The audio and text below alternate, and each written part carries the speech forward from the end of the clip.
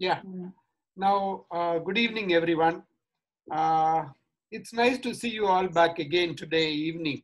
Uh, as far as hand injuries are concerned, it's all very nice to read about them in the book textbooks and uh, learn the theory part of it and even learn the surgical technique.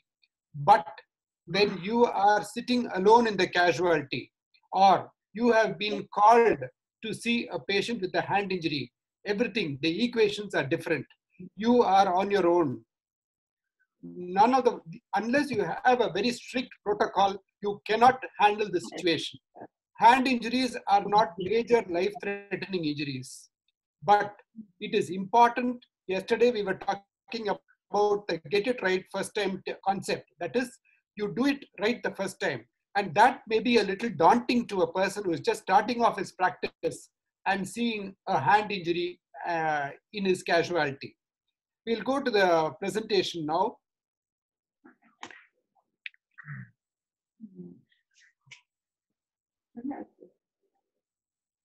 Now, uh, today the agenda is going to be uh, the basics of management of hand injuries. Uh, here it's going to be eliciting the history, examination of the patient and the injured hand, documentation, investigations to ask for, decision making, and lastly, we'll finish up with the discussion of today morning, uh, the morning's case of multiple metacarpal fractures. Now, eliciting the history, there are so many points that we need to. I still recommend you uh, seeing or reading the book uh, Clinical Methods by Das, which is a fantastic book as far as examination of the uh, injured hand is concerned. We'll see all these uh, uh, points one by one. Now, the first thing when you get across, when you come across a patient with a hand injury, is to rule out life-threatening injuries. Uh, the legendary Professor Venkat Swami used to say, for every hand injury, you will see, notice that there is a patient attached to it. This was said in very nice humor, but it's got a very important point behind it. When, you, when we see a patient with a hand injury, we are all uh, totally struck by that injury. But what we need to see is the patient as a whole, especially in the case of polytrauma, when hand injuries get the last priority and life-threatening injuries are most important. I keep saying this again and again because I have come across patients, uh, situations where it has been missed. Of course, the life-threatening injuries, I don't have to tell such an uh, educated audience about the lethal six thoracic injuries, the head and spinal cord trauma, and abdominal trauma sometimes. Now, coming to the history proper, the first is the age. Now, why is the age so important? The commonest type of injury that would have occurred is very obvious. In children, you have got door crush injuries. And sometimes children, toddlers, put their hand into the uh, motor pump. That's a very common type of injury that we come across. We get rare injuries also in children. Elders, it is falling down and having blunt injuries and fractures. The next point about age is it is important for physiotherapy. Sometimes two elderly age group patients may not be very amenable for physiotherapy, in which case doing complicated procedures of the hand may not be, be very fruitful for them. Then the third is the anesthesia required. Children may require, may require general anesthesia if it is a major injury or even sedation with local anesthesia. And injuries in minor children may be significant as parental consent may be required. If children are below the uh, consenting uh, uh, age group, it is important. Sometimes very young children are brought with injuries and the company people will be there with them too, ready to give a consent. But that will not stay in court of law and it is also not correct for us to do a surgery on the child without informing the parents about the injury. Now, this is the type of injury that you can get in a child. This is the motor crush injury. The child has uh, toddled to the motor pump and put his uh, thumb into it. Now, look at this. Children sometimes, you know, this is actually a small child for whom I'm doing a suturing. You will find that the child is even looking at it. The important thing is we need to talk to the children. Sometimes children are very understanding. they are only scared about the procedure and the masks and the, uh, the theater uh, setup.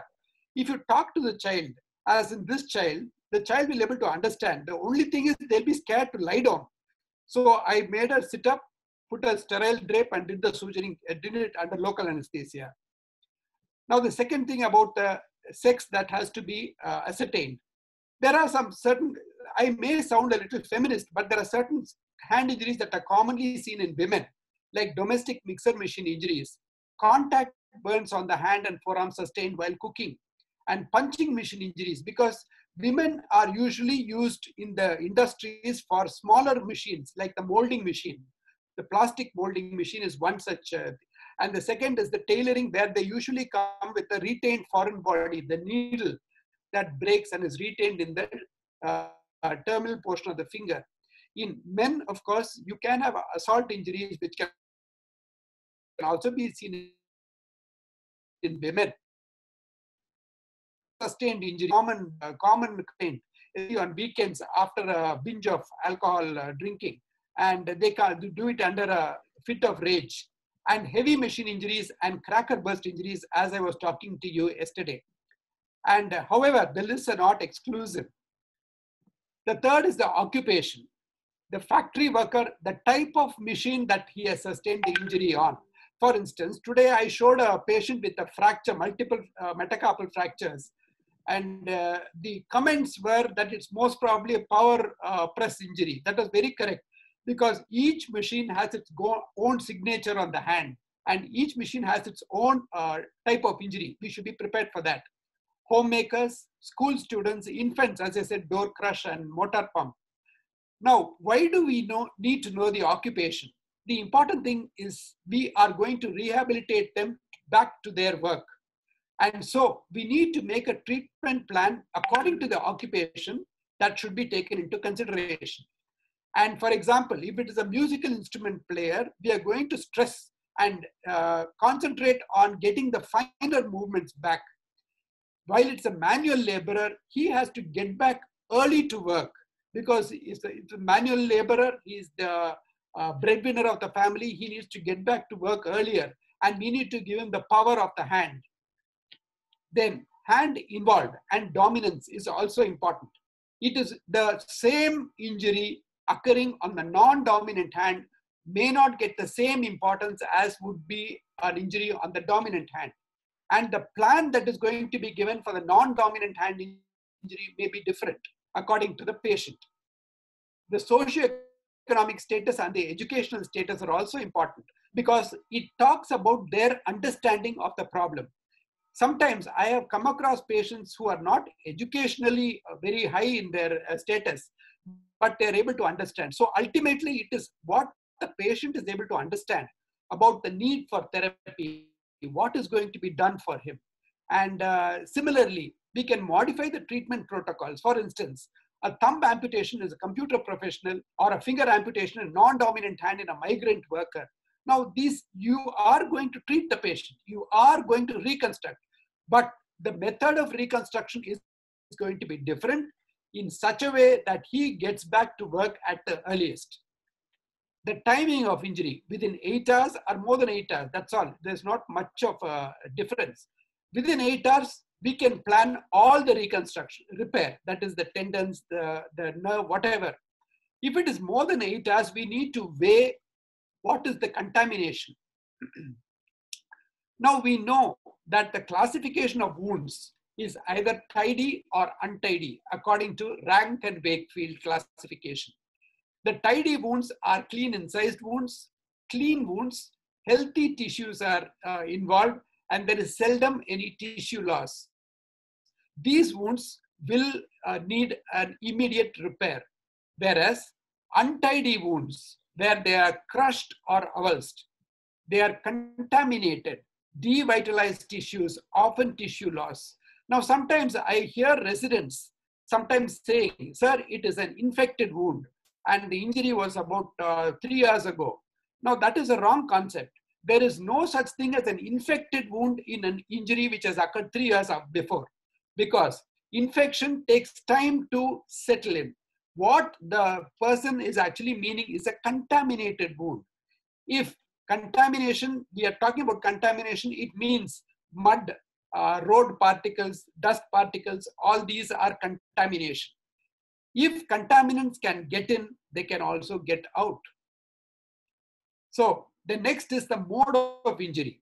Now, considering the mode of injury, industrial accidents form a major portion chunk of hand injuries that we saw in our practice. It all depends, as I said, on the type of machine, because some have irregular surfaces like cogs, some have weight coming from both sides, and sharp blades sometimes, and traction, conveyor belt injuries sometimes. Now, the other types of mode of, of injury are burns, electrical burns, road traffic accidents, and they have different characteristics. Now, there's one point I wanted to stress here. We talk about abrasions and we talk about friction burns. Are they the same? Definitely not, because both have the same appearance of the wound on the skin. But if you see the friction burns, they have an extra uh, component of avulsion which is involved or uh, crush that is involved. So the underlying tissues are also involved in friction burns. It is not just an abrasion. So the amount of scarring that is going to occur following the healing of a friction burns is different than the scarring that occurs after a abrasion. And assault wounds can also occur, self-inflicted wounds and accidental domestic injuries like fingertip injuries, nail injuries, and domestic kitchen. Uh, now, this is a case of an electrical burn. Now, electrical burns, we'll see it when you talk about elect burns. Electrical burns, this is an example of a contact burn. This child has held a live wire. You can see that area of deep eschar on the palm and on the fingers and on the thumb where the burn is very deep. The other injuries, at the same time, we need to rule out other injuries to the same limb. There may be proximal injuries, there may be injuries to the contralateral limb also, which may be slightly lesser importance, but they are also important, and to other parts of the body and also comorbid factors, especially if the patient is elderly. Now, examination of the patient. Now, we have got a good history. Now, we're going to examine the patient. The first thing is to make the patient comfortable and lie down. We have to stop this uh, thing of making the patient sit up or standing up and trying to examine. A small wound, the, when you're examining patient can always fall down due to pain shock. So we need to make the patient comfortable, lie down, and then reassure the patient because he's already in pain. And we need to take out the dressings. He may already have a dressing, some dressing which has been applied outside. We need to take it down. We can do it by pour by pouring saline soap and then remove it. Then we can wash with saline. We need to pour with saline, pour saline. Then after it's wet, it has to be removed there is no point in causing pain to the patient while removing the dressings. He loses his confidence in you. And if there is a bleeding, a general a gentle pressure with a gauze will suffice to stop the bleeding. If there is going to be excessive bleeding, we need to apply a tourniquet immediately. Sometimes it may, a tourniquet may not be available in the place in the outpatient clinic or in the emergency casualty where the patient is being seen. But a BP cuff will always be there we just apply the BP cuff, raise the pressure up to 300 millimeters of mercury. By raising the pressure, we always think it may be painful, but all patients can withstand this pressure for up to 10 to 15 minutes. So we are going to apply it only to examine where exactly the bleeding is. Once the bleeding, you are able to see where the bleeding is, we need to apply what is known as the Johnson method of pressure dressing. That is, right over the wound. You're able to apply, see a point where the bleeding is occur, occurring. Now, people have got a tendency to push in their artery forceps to catch the bleeder. It is not ideal to do that because if it is a deep bleeding, usually the nerves may be involved. What we need to do is just apply a few gauze pieces, one on top of each other, exactly where the bleeding is occurring. About four or five gauze pieces lined up one over the other then a single pad, and then a bandage, hand elevation. This will definitely stop the bleeding. The tourniquet can be released and the patient can be taken up for surgical management. Now, once we go to the proper examination of the hand, we need to see the position attitude. before that, we need to see whether any loss of parts. This is the most important thing because amputation is an important part of hand injury and this is usually recorded first. Any amputation is recorded first. Then we see the deformity, shortening, angulation, and the position. Now look at this uh, X-ray, this picture. You can see the deformity there on the uh, uh, index finger. That uh, correlates with a fracture. This must be noted and we should suspect the diagnosis when we send the patient out for the x-ray. Now look at this deformity it can occur at the higher level also. There is a fracture.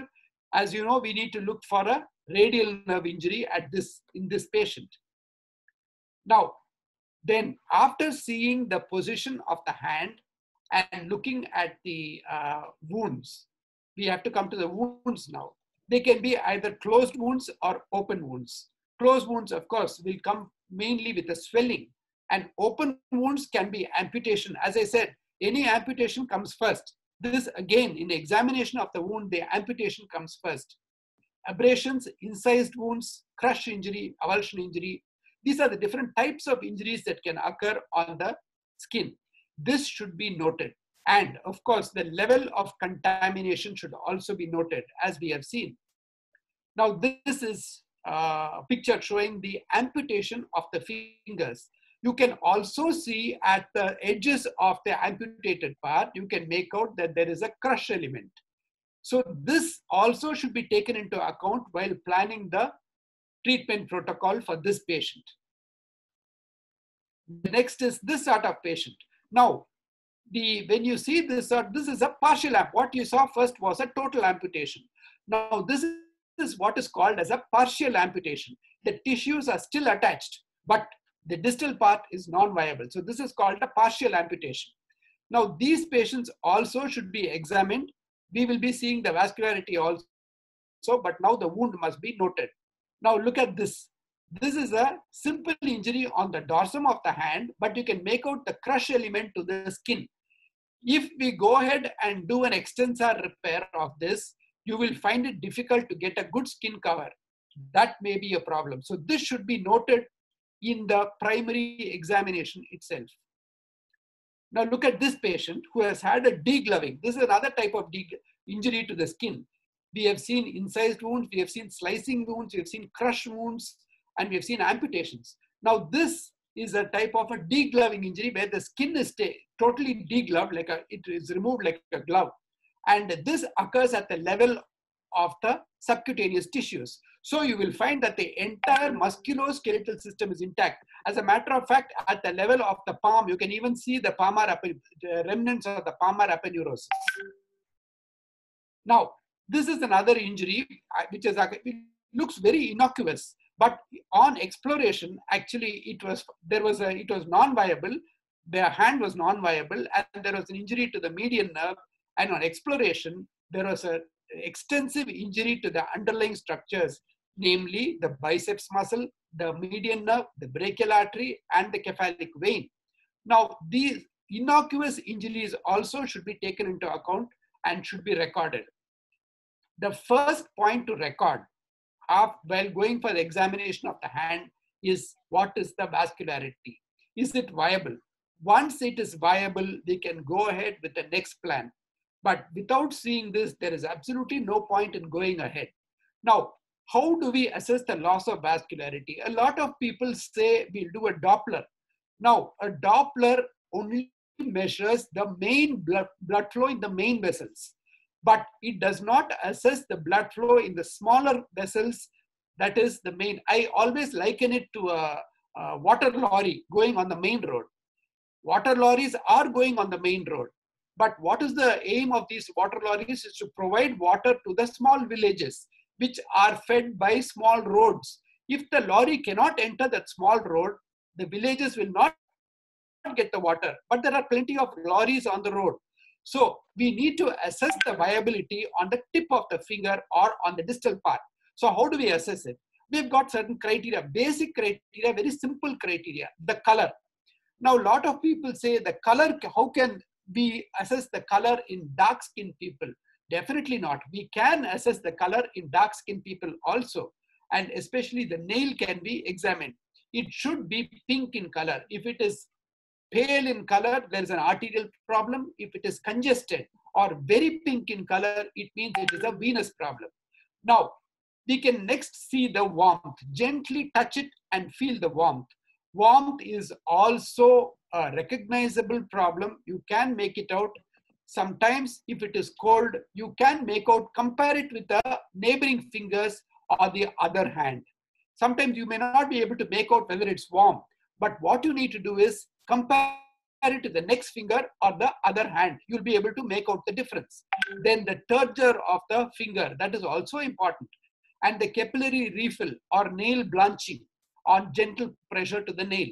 And if all these are still equivocal, you can always do a needle prick or a stab with a tip of the 11 blade, number 11 size blade. You will see a bleeding. Now, this bleeding also should be noted whether it starts immediately, whether it is dark colored or uh, uh, red colored, bright red, and what is the rate of flow. Sometimes when you make a streak or you may needle prick, the blood will start flowing out. That means it is a venous problem. The venous drainage is not adequate, so all the blood comes out through this release point of your needle prick. So these points must be made to assess the vascularity. If all these are also a problem, you can also use the technique of uh, the uh, pulse oximeter to measure. Now, this is an injury. Here, there is a major injury. There is a major injury to the thumb. You can make out that there is a deformity and the x-ray shows a fracture, but the thumb looks viable. This is what I was saying. You can even make out on this picture that the thumb looks viable because it is pink in color. Now, this is another injury where the hand looks very pink and viable. Now, even though it looks very similar to the patient that we saw earlier, so it is not that this sort of injury should have a non-viable limb. It is only that you need to assess each patient on a individual basis. Now look at these fingers. You can make out that they're non-viable, especially you can look at this finger. It looks, it looks sort of empty and pale. Now, these are indications that these fingers are not viable. So as I said, you can also use the pulse oximeter. You can make out that this finger is looking a little bad. There is a fracture there. Now this fracture, normally we would not expect a non-viable finger, but here it has occurred. Now it is not dependent on the fracture that you see. It is dependent on the injury, that, on the, uh, the force that caused the injury.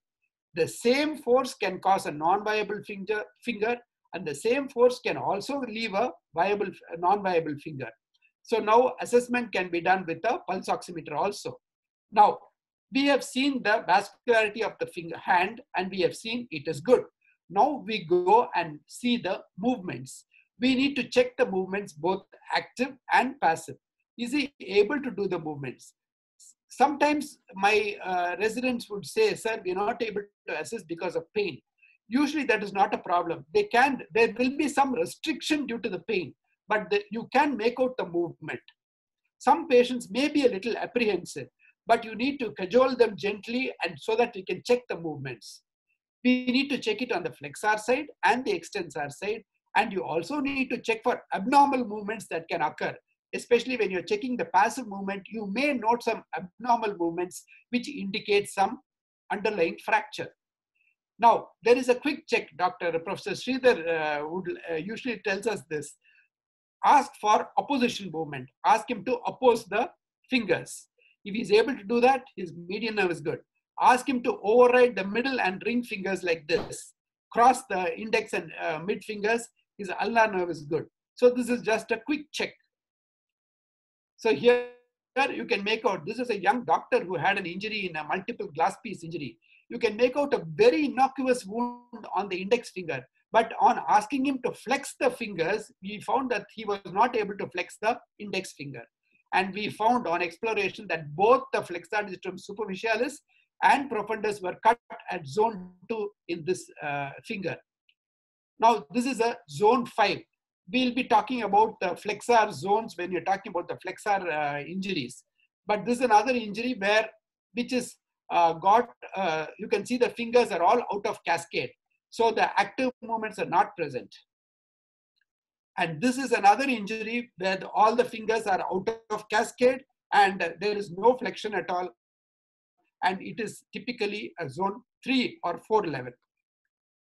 Now look at this patient. He doesn't have any external wound, but on asking him to do the movements, we find that there is no active movement of flexion at the inter distal interphalangeal joint of the right hand ring finger. Now, this suggests that there has been an avulsion injury of the flexor digitorum profundus, which is also quite a common injury. Unless we look for these movements, you will, we will miss the diagnosis. And now we come to the examination of the nerves. We have seen the musculoskeletal system. Now we come to the nerves. We need to check the sensation. We've already checked the muscles and that will give us a clue about the nerve injuries. We need to check the sensation. One important point that I have noted is if you ask the patient, are you able to feel sensation? They will invariably say yes. Now that is very important because uh, unless they're very intelligent, they cannot tell you there is a slight blunting of sensation. So here, this is one situation in hand surgery where we ask leading questions. You can ask them, are you able to feel the sensation? We usually compare with the other hand, which if it is not injured, we touch the same, you can touch the, you can uh, touch the tip of the thumb on both sides, ask them if there is, it is the same or is the slight difference. They will immediately say there is a slight difference if they have an injury to the nerve. And the sensation on the tip of the index finger or the middle finger for the median nerve and tip of the little finger for the ulnar nerve and on the dorsal aspect of the thumb web for the radial nerve. Now, the other question that people have asked me is, then there is an injury to the ulnar nerve. Will there be a claw hand immediately? You, I'll show you the picture to show that. Now this is a, an injury to the arm. He had an uh, injury to the radial nerve and you can make out on the clinical after the wound healed also he's got a radial nerve palsy. Now look, this is an injury with a knife. Now typically you can make out the ulnar, ulnar claw that has occurred. So you will note that immediately after injury to the ulnar nerve, you will have an ulnar claw that develops. This may develop in almost 80% of the patients. There are some patients, especially those with stubby hands, short stubby fingers, and uh, small uh, square shaped hands, where the soft tissue support is quite high. Those patients may not manifest the claw immediately. But invariably, when the soft tissues give up, you, the claw will manifest. So this can be seen. Now, having examined the patient, we need to document it. I have seen that most of the problems occur because documentation has not been correct. The documentation should be written. It should be written with the name of the examining doctor, the date and time. This is very important. It must contain the detailed history, the cause of the injury, the side involved, the type of the injury, the clinical examination findings, and findings in relevant investigations and the diagnosis. Documentation can also include photographic and videographic uh, recording. Now, the investigation that we ask for, the basic investigation that we're going to ask for is an X-ray we usually ask for PA and oblique views. Now these views will show us the fractures. Now there are some special x-rays, for instance, stress x-rays on the thumb, metacarpophalangeal joint to uh, look for skier's thumb or uh, injury to the ulnar collateral ligament of the metacarpophalangeal joint. Now, what do we look for in the x-rays? We look for the fractures, we look for dislocations, we look for the soft tissue injuries also. And the other investigations that we do are blood investigations for screening and for anesthesia purposes. now we come to the decision making. We have got a good history from the patient. We have done a thorough clinical examination. We have noted that, sorry, we have noted that he has got a good vascularized uh, limb. There is no problem of vascularity and we are able to make out some injuries to the tendons or nerve or whatever, skin loss, whatever. And now the time has come to make a decision. This can be, we can arrive at a decision only by talking to the patient. We need to talk to the patient, talk to his attender also. Agreed that the patient and the attender may not know much about the options, but it is our duty to tell them. It is not necessary to tell all the options available in the textbook for the management of a particular problem. We need to take a basic decision. I know I, this may be controversial, but I generally break it down, make it down into two or three small plans, and then talk to the patient and involve him in the decision making. We have to talk to the patient about the findings that we are seeing and show him. For instance, you tell him that this finger, the tendon has been cut, flexor tendon. You can show him, demonstrate it to the patient and the attender. We need to talk to them about the proposed plan and the options if this plan is going to be done, how long is it going to take for him to get back to work? Because that is top on the top most uh, priority of the, uh, on their minds. When will they get back to work? So what to expect? When will they get back to work? When will it start function normally? How long will it take? And what must he do? What is his role? what complications can occur and the importance of therapy. This is very important. We need to impress upon the patient the importance of therapy at this primary setting itself. Now, as far as decision making is concerned, there are certain things that are very simple. This, for example, in this patient, definitely you can't replant these uh, crushed tissues. It's not possible. This definitely we can replant and uh, there is no question about it. The decision is making, taken immediately. But the questions come in these sort of situations where you have a thumb tip that has been amputated or there has been an avulsion of all the tendons and the hand looks okay. Now, should we replant it or not? And the next is this sort of avulsion injury. You can make out that it is bluish in color. We were just talking about the vascularity. Now this looks bluish, so most probably it is a venous problem. So we need to reconstitute the venous drainage to make it survive. Now, is it worth doing it? Will it work? Now, these are certain questions that uh, are, come to our mind. But we need to remember that we need not take a, a dwell, dwell much about it. Our duty is to put it back. We were able to do it in these patients and we got good results. So this shows that you can put it back and it must be, as a matter of fact, it must be put back so that you can do justice to the injury that the patient has sustained. So decision making should, should result in one, are we going to manage it conservatively? For instance, small wounds can be managed conservatively with just dressings. A major wound needs an operative management. If it is going to be an operative management, is it going to be a daycare or an inpatient treatment? Or if it is an operation management, operative management, what is going to be the plan of management? If there is a skin loss, what is going to be the flap? What sort of flap? When is it going to be done? And it is important to, after taking the decision, to communicate this decision that has been taken along with the patient and the attender, it must be communicated to the patient and attender that this is what is going to be done. So now, having taken a decision, we need to go into the surgical technique and preparation for surgery and then the surgical technique, which I think we shall continue tomorrow. And now, we will finish off with a discussion of today's case. Now the, uh, the pictures of a male patient of about 25 years who presented with injuries sustained on the non-dominant left hand in an industrial accident of uh, a few hours duration. The questions were, what is the diagnosis?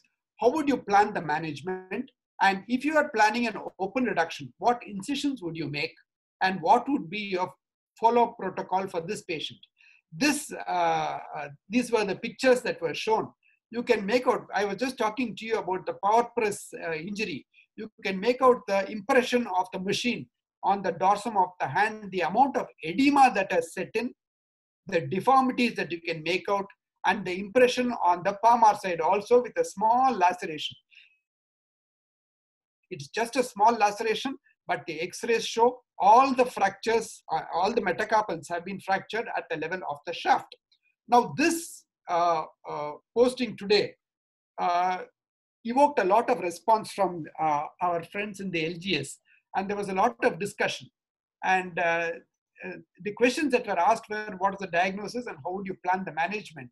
And uh, what would be the incisions and what would be a follow-up protocol. Now, the problems in this particular patient, as we found in the discussion was, this patient has got multiple metacarpal fractures and there is a dorsal crush wound, which is also important. We were talking about examination of the viability of the hand and fingers. It is also important to examine the viability of the skin here, this important point came up, this dorsal crush wound. Most of the people who analyzed this, uh, this uh, case were dwelling on this point. What about the vascularity of the fingers? And then, were there any other structures involved? Would it be good to fix it or not to fix? And if it is a plan to fix, do we need to, what is the method of fixation? Do we need to put plate and screws or do we need to put K wires? And what would be the post-operative protocol. Now, basically, uh, this hand was by,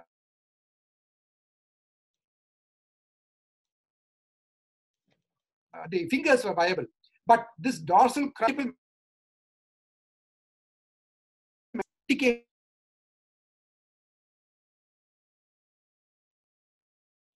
these multiple metacarpal fractures. When there are multiple fractures, it is better to fix the fractures. The second is marginal metacarpal fractures. So if the second metacarpal or the fifth metacarpal is fractured, it is better to fix those metacarpals. Or if there is an open wound with metacarpal fractures, it is better to fix those fractures. Here, it is a blunt injury, but since all metacarpals are fractured, we made a plan of fixing the fractures.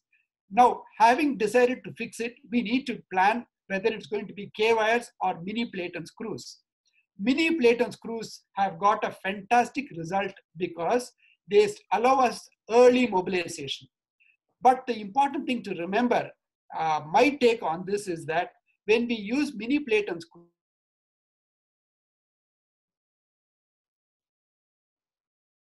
screws, the soft tissue cover is very important. Move the periosteum when you're going to put in the plate and screws.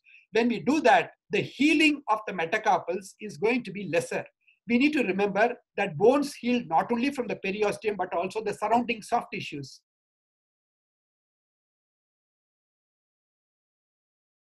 Here, the by the look of the wound, you will interosseous muscles have also been injured. So there is soft tissue for the healing. In this sort of patient, I would prefer to put in K wires and fix these. So these are simpler uh, uh, method of fixation and you do not, but you do not get a rigid fixation like you do with a mini plate. And we will have to immobilize the hand for about minimum of three weeks before we start mobilizing. Now, having planned to do K-wire fixation, we need to now see what would be the approach. Whether we're going to approach it from the dorsal side or are we going to approach it from the volar side there was a discussion about this too. Some one or two people they prefer to do a volar approach fixation. I don't know. I have always found that the dorsal approach is better because the bones are subcutaneous, just under the tendon. And it is usually in these sort of injuries, the tendons, especially the flexor tendons or the extensor tendons, they are usually intact. I have seen when these these injuries, they strike the these injuries. When the weight of the press falls on the hand, the pressure is released through one tissue. If the skin has not breached, been breached to a great extent, all the pressure has been taken away by the bones.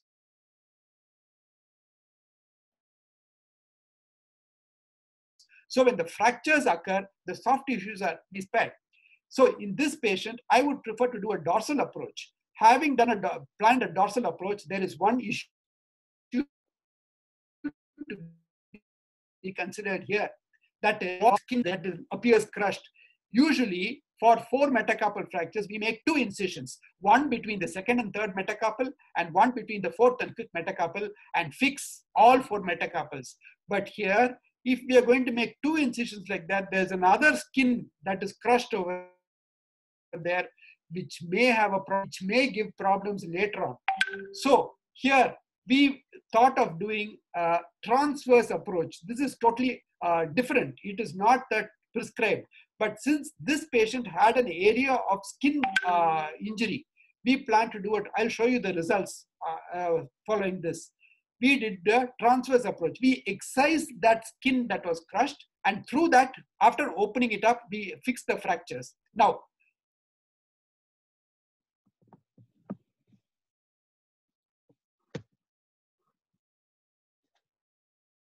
Metacarpal fracture fixation is usually without impinging on the metacarpophalangeal joint. But here you note there are four metacarpals that are fractured. If you're going to pass all the K wires proximally, they're all going to crowd because all the metacarpals are diverging and converging proximally. So all the K wires would converge. It would be very difficult to put in a wire or put in the drill to pass it. So here we plan to fix it distoproximally. You drive it distally then drive it proximally and fix the metacarpal. So, and we planned for a post-operative protocol because we have not done a rigid fixation. We planned for a K-wire fixation. We would give a POP for three weeks. After three weeks, we would assess the healing. This healing can be assessed, healing of the fractures. We would be assessing by the clinical and radiological signs. The clinical sign would be uh, if there is no tenderness at the point of fracture, it means that reasonable clinical healing has occurred. X-rays may not show the callus. It may show the callus or may not show.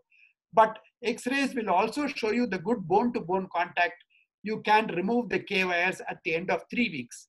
Or you can delay it for another one week and remove the K-wires at four weeks. After four weeks, we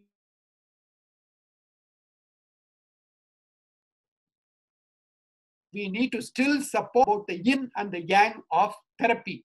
After the POP is taken off, it is not just mobilization. You may need to immobilize and mobilize. So I would immobilize the hand still, but the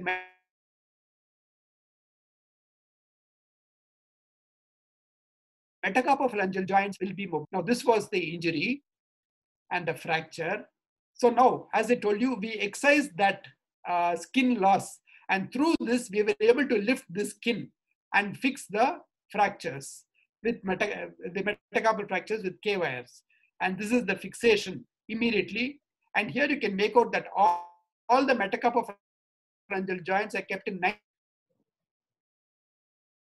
90 degree flexion. And uh, done in a POP. So this is the late flexion on the ring and little fingers but extension is almost full. You can make out the narrowing of the palm. This occurs because of the loss of the intrinsic muscles.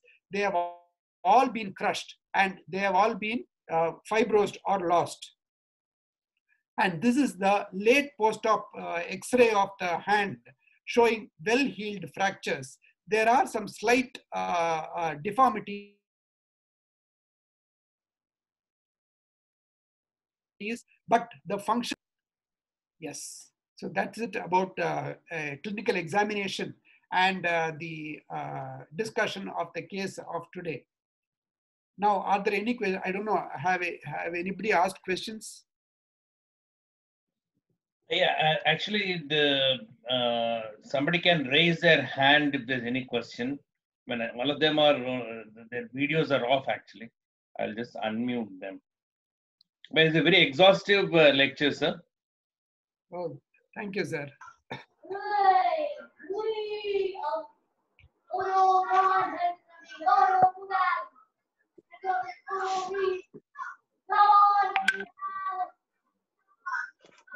Thank you, thank you very much, sir.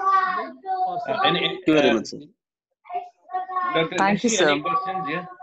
Avni, Avni. Uh, yes, sir, I have a question. No, I'll do one thing. I'll uh, is mute all of them and then unmute you. Sorry about that. Because, there's some children making noise. नहीं तो अब क्या है अब जैसे मुस्लिम होंगे इधर उधर मिलेंगे डुलेंगे कल मस्जिदों में नमाज़ पढ़ पढ़ के लिए होंगे यानी कितनों को उन्होंने इन्फेक्ट किया है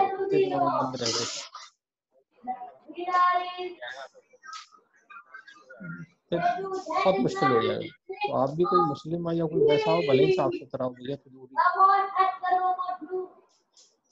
एक तो इस समय किसी को ज़्यादातर घर पे आने ही मत दो।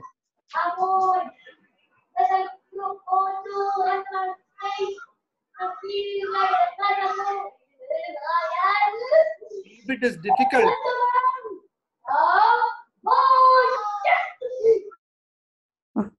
can ask me to put out the questions. Yeah, Nishi, yeah, say what Yes, you want to say. Sir, uh, I just have one question. Uh, sir was talking about replantation of uh, amputated fingers or uh, a part of hand. Uh, how to judge, sir, that uh, whether this part can be replanted or not?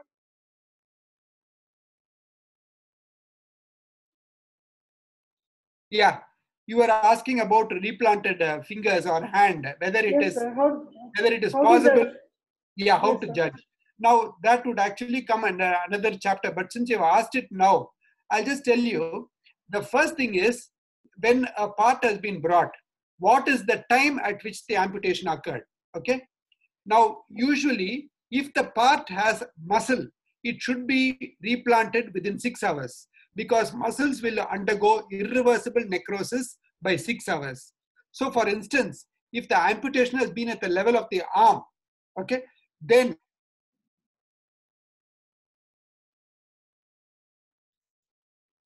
you need to put it back within six hours. If it is the finger, it doesn't matter six hours because there is no muscle inside the finger. So it can you can delay it up to 12 hours even, or even more than that.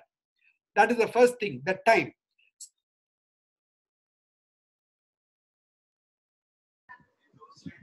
Second is what was the times are relative. You you need to consider whether it is good or not. So that is if it is a clean cut amputation, definitely an indication for replantation. Now the third is in what way was that part preserved? That is, was the what was the warm ischemia time? Now we need to consider all these. Even after all this, there is a final say. The amputated part, when the patient presents to you with an amputation, the amputated part is x-rayed and then taken inside the theater and we dissect under microscope to see what is the injury to the vessel. There are certain telltale signs on the vessel that show that the vessel has been injured even distally. In those situations, it may not be possible to replant it. However, if the vessel looks good distally, you can replant it. Even proximally, if the vessel is not good, there are many techniques by which you can replant it. But if the vessel is not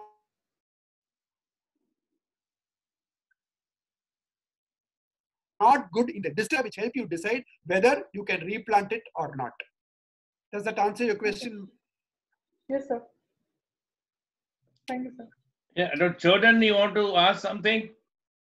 Uh, yes, sir. I um, I really enjoyed the class, but then in between there was a lot of disturbance, so I really could not go to the class totally. I just Okay. wanted to ask, sir, that uh, so you would be talking on replant as a separate topic. You will be touching on that topic again, sir. Yeah, I will be touching on the the nitty gritty of replantation. you know. So we'll uh, uh, we will. Yeah. Yes, sir. Yeah, because uh, actually it is not part of the uh, the schedule that I've given, but I can always Right, because I've given uh, buffering of one or two classes. If you want, Right, whatever you are, if you feel that it would be good to have a class on uh, replantation. See, what Right. we need to talk about replantation is uh, what do you do? I mean, how do you set up the teams? What is the logistics of doing it? And what are the steps, the, the sequential steps in which you do the procedure? And how do you assess it afterwards? And what Right, is the protocol? These are the things that we will uh, now replantation and revascularization. As you know, Right, uh, revascularization is something like I showed you know where the the parts are still attached, but they're not.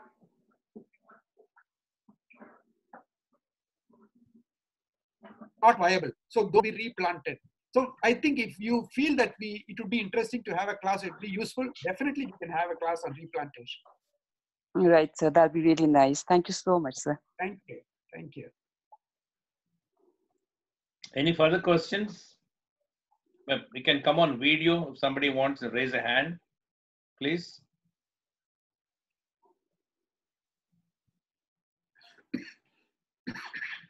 Yeah, I think if there are no questions, uh, then, you know, we'll close the session. Sir, thank you so much uh, for taking so much effort and uh, making the hand surgery so very interesting.